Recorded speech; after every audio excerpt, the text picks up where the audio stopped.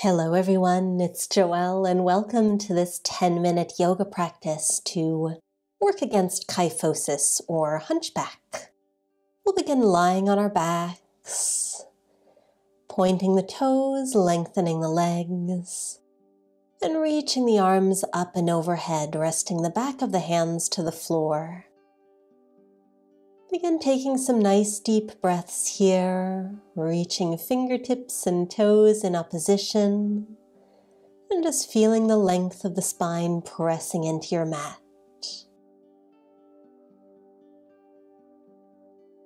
And then keeping the toes pointed, begin to slide the backs of the hand down along the floor, bending at the elbows. And then straighten the arms once more.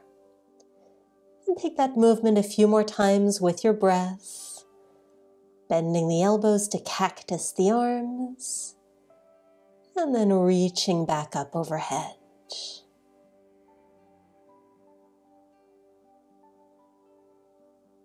And feel the back working here. And then take hold of opposite elbows, allowing the arms to rest alongside the ears. You might even close the eyes here. Notice any sensations, any stretching or strengthening. And let's release. We'll simply roll over onto our stomachs now, extending the right arm straight out from the shoulder and press the left fingertips into the ground so that you can roll yourself over onto your right side, maybe setting the toes of the left foot down behind you. And just hold here for a breath.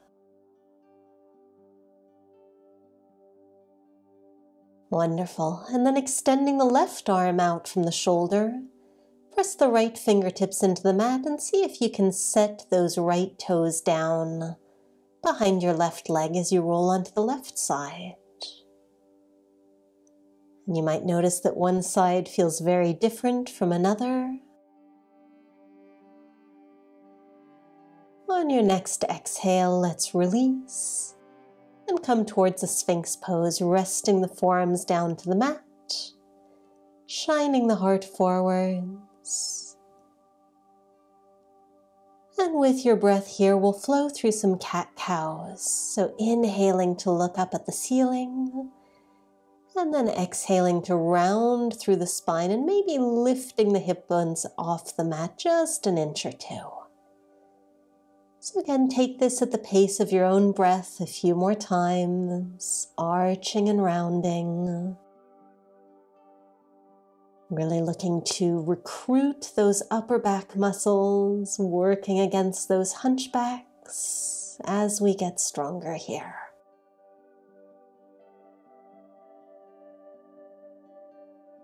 And as you finish up that next round of cat and cow, just hold your sphinx pose. Think about pulling the shoulder blades back behind you. A few deep breaths here.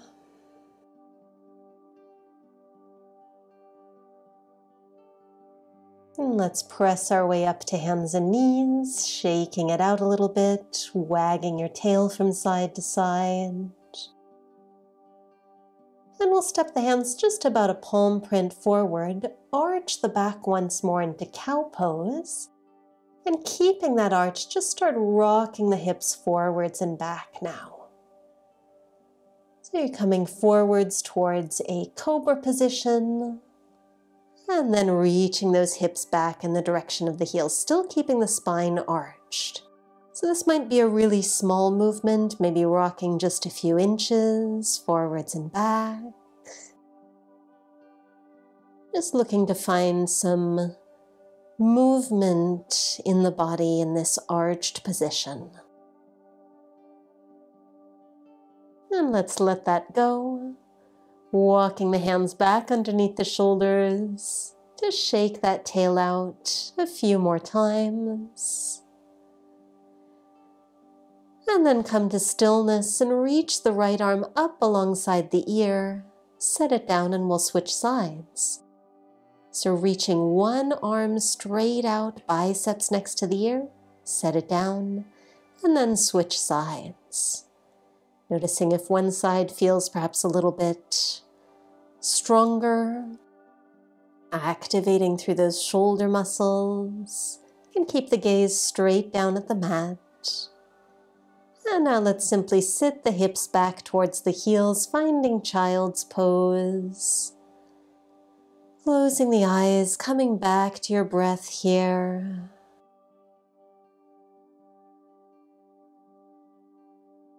Releasing the lower spine.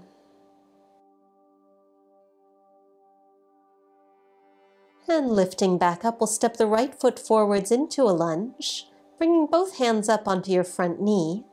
And you can either stay there or you might like to reach the arms up overhead as you engage through the back glutes to encourage the hips forward. Now cactusing the arms in this front lunge, start twisting right to left. So keeping the elbows at the same height as the shoulders and simply rotating the upper body from one side to the other. Still keeping those upper back muscles nice and activated here. And we'll come back to center, reach the arms up. And then exhale to set the hands back down. Nicely done, not easy. Shake it out a little bit. And we'll try the other side. Stepping left foot forward into a lunge, squeeze the back glutes. And you can place the hands to the front knee or maybe reach them up towards the sky. arching just a little bit through the back as we cactus the arms. And again, begin to twist to one side and then to the other, challenging our balance here. Keep those glutes engaged. Just a little bit of movement through that spine and the waist. And take one more. Coming back to center, reach the arms tall. And exhale, set the hands back down to the mat, finding hands and knees. Sitting back towards the heels and rolling the shoulders back. And sitting back on your heels, let's just take a few neck circles in one direction, taking it slow.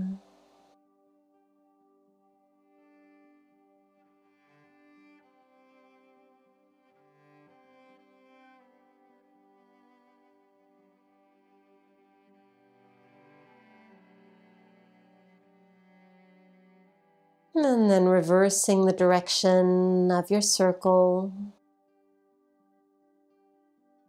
Just feeling out through the nooks and crannies of your neck. The more we can strengthen that upper spine, the more we can work against those hunchbacks that tend to develop as we get older. And once you've finished up your next circle, you can release that motion, roll the shoulders back.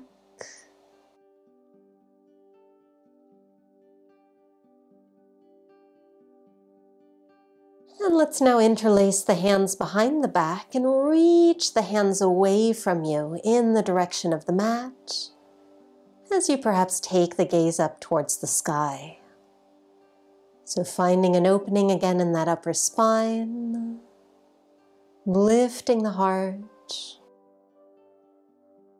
And on your next exhale, melting forwards back into a child's pose and lifting your clasped hands off of your hips. So it's as if you're reaching your clasped hands up and over behind you, opening up through that shoulder line. Breathing nice and deeply here. And then exhale to bring the hands back towards the hips. And sitting yourself up tall once more, we'll find a cross-legged seat, shaking it out a little bit side to side.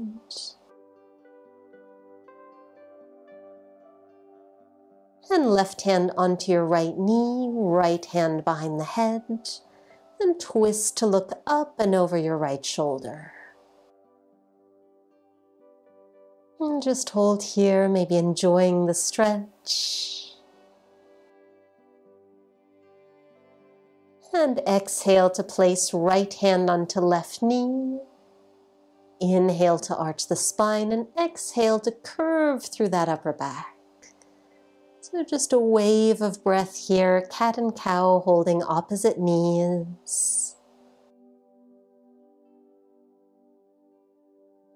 And letting that go, we'll try the other side. Right hand comes to the left knee, left hand behind the head, and twisting up to look over that left shoulder.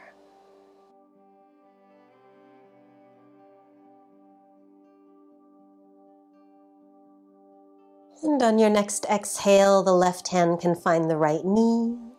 And inhale to arch, exhale to round. Just moving a few times here with your breath. Noticing how you're feeling after all of this spine activation. Some wonderful strengthening moves here for the back today as we let that go, shake it off.